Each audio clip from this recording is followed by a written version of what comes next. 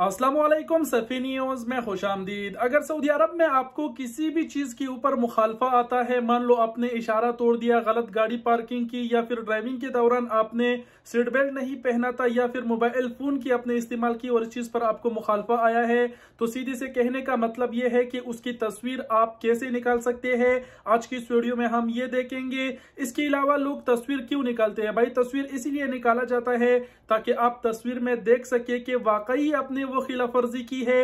मान लो आपको seat belt की मुखालिफा आया है और आप तस्वीर निकालते हैं और तस्वीर में आप देखते हैं कि आपने भाई तो सीट बेल्ट पहना है तो इस चीज़ पर आप घर बैठे बैठे एतराज़ भी कर सकते हैं। ऑप्शन पर एक नया ज़बरदस्त ये सिस्टम अपडेट हुआ है, काफ़ी पहले से है, लेकिन अभी मैं आप सबको ये बताऊँगा कि ये तमाम चीज़ें आपने कैसे करने हैं। इस वीडियो में आप सीखेंगे और इस वीडियो को खासकर ड्राइवर हजरात के साथ ज़रूर शेयर करें, क्योंकि कभी न कभी उसको मुखालफा ज़रूर आएगा, क्योंकि अक्सर गलतियाँ करते हैं हमारे ड्राइवर तो बाद में उसको पता हो कि इस तरह तस्वीर निकाल सकते हैं और अगर एतराज़ करना हो तो वो किस तरह करते हैं? तो किसी भी किस्म का मुखालफा हो, उसकी तस्वीर निकालना, उस पर एतराज़ करना, ये अबशर से होगा। ये ज़रूरी है कि आपका अबशर बना हुआ होना चाहिए। आप ऑप्शन पर लॉगिन करें, उसके बाद की कार्रवाई चलिए कंप्यूटर की स्क्रीन पर देखते हैं। ऑप्शन पर लॉगिन होने के बाद आप यहाँ पर नीचे आ सकते हैं।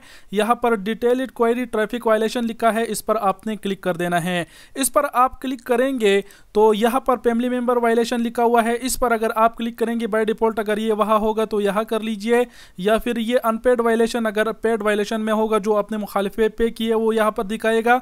आपने यहाँ पर कर देना है। उसके बाद आप ये पर नीचे आप आएँगे तो यहाँ पर आप देख सकेंगे कि आपके नाम पर कौन सा मुखालिफा है, उसकी डिटेल्स आप चेक कर सकेंगे। यहाँ पर सिटी भी बताया गया है कि रियाज में और वायलेशन अमाउंट जो है, जो रकम है, वो एक सौ रियाल मुखालफा है। डिटेल्स पर अगर आप क्लिक करेंगे तो मज़ीद डिटेल्स उसकी आ जाएगी। यहाँ पर आप देख सकते हैं, मज़ीद डिटेल्स आ गई। यहाँ पर आपके खामे का नंबर दिखाई दे रहा होगा।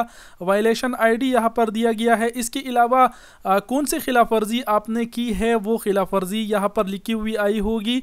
अगर आपको खुदकार कैमरों से मुखालफा आया होगा, अगर आपने मतलब सीट बेल्ट नहीं पहना तो यहाँ पर वो भी लिखा होगा कि भाई आपने सीट बेल्ट निज़ाम नहीं पहना है निज़ाम उसके बाद यहाँ पर कितना रियाल मुखालफा आया है वो दिखाई दे रहा होगा। उसके बाद तारीख़ और टाइम और यहाँ पर कौन सी सिटी में मुखालफा आया है वो दिखाई दे रहा होगा।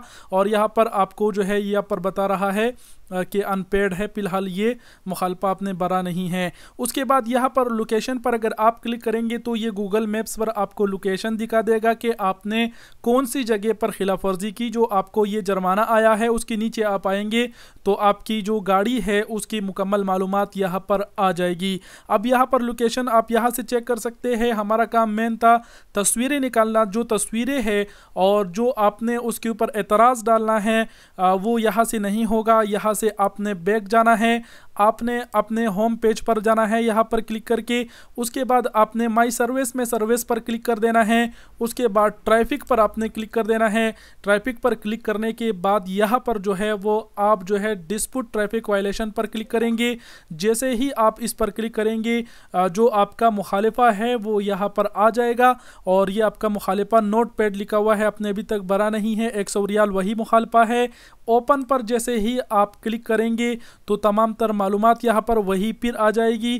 जो मुखालफा हमने लिया, गाड़ी की मालूम और कौन से उसमें खिलाफ वर्जी पर आया। यहाँ पर आप देख सकते हैं, अभी अरबी में आया कि वक़ूफ़ अलमरकबा फ़ी अमकान गैर यानी गलत पार्किंग उन्होंने की थी, उस चीज़ का मुखालफा आया है। यहाँ पर नीचे आप जैसे ही आएँगे तो यहाँ पर एतराज़ का ऑप्शन दिया गया है। आप इस पर एतराज़ कर सकते हैं। यहाँ पर डिस्पुट रीज़न लिखा गया है। डिस्पुट रीज़न, यहाँ पर आप क्लिक करेंगे तो बहुत सारे दिए गए हैं। कि इनमें से अगर कोई हुआ हो तो वो आप कर सकते हैं। बहरहाल अगर इसमें वो आपको दिखाई नहीं दे रहा तो आप जो है नीचे ओदर पर क्लिक कर सकते हैं। अगर आपकी गाड़ी चोरी हुई है तो आप यहाँ पर कर सकते हैं। यहाँ पर अगर आपको मुखालपा आया है, आप उसके हुनर नहीं है तो ये क्लिक कर सकते हैं। ये तमाम तर आप जो है वो पढ़ सकते हैं और एतराज़ डाल सकते हैं। कोई समझ नहीं आ रहा तो ओदर पर आपने क्लिक कर देना है। उसके बाद आपने क्या एतराज़ करना है, उसके ऊपर ये आप देख लीजिए।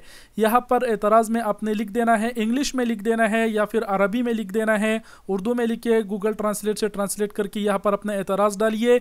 I agree the terms and condition पर क्लिक करें और उसके बाद यहाँ पर सबमिट वायलेशन फॉर डिस्प्यूट करें। तो ये जो आपका आ, वो है एतराज़ है ये चला जाएगा। लेकिन एतराज़ से पहले आपको यहाँ पर तस्वीरें मिलेंगे। अगर आपने इशारा तोड़ा है तो आपको उसकी वीडियो यहाँ पर मिलेगी।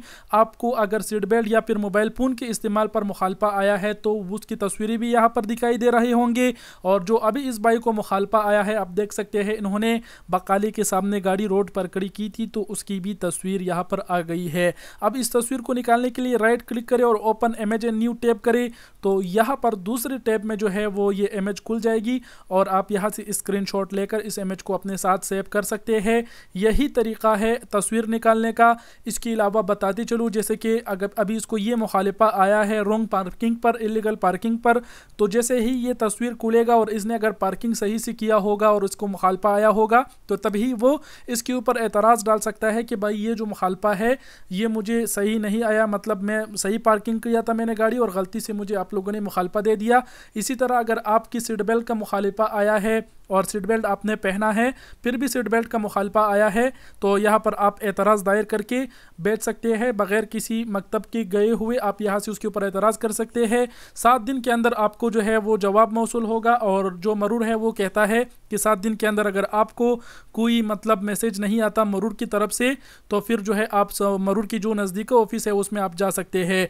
इसी तरह अगर मोबाइल फ़ोन के इस्तेमाल पर आपको मुखालफा आया है और आपने मोबाइल फ़ोन के इस्तेमाल की ही नहीं, फिर भी मुखालफा आया तो फिर भी आप एतराज़ डाल सकते हैं। लेकिन अगर आपने तस्वीर खोली और आपने मोबाइल फ़ोन के इस्तेमाल की खिलाफ वर्जी की या फिर सीट बेल्ट की खिलाफ वर्जी की है और मुखालफा आपको सही आया है तो आपने ये एतराज़ इस पर दायर नहीं करना है। नहीं तो आपको फिर से मतलब रिजेक्ट किया जाएगा और जुर्माना जो है वो आपको फिर भरना होगा। तो यही तरीका था तस्वीरें निकालने का और यही तरीका था कि आप कैसे अपने मुखालफे पर एतराज़ कर सकते हैं। उम्मीद करते हैं आप लोगों ने सीख लिया होगा और कुछ कहने की ज़रूरत नहीं। वीडियो देखने का बहुत शुक्रिया। अपना बहुत सारा ख्याल रखिएगा। अल्लाह हाफिज़।